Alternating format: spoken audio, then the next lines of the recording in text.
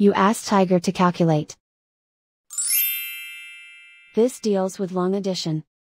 The final result is 27,182. Let's solve it step by step. Rewrite the numbers from top to bottom, aligned by their place values, add up the digits in each column, from right to left. 6 plus 6, equals 12.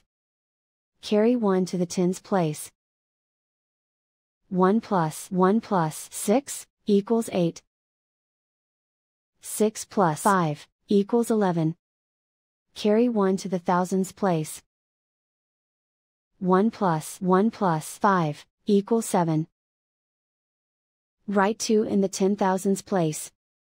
And so the final result is 27,182.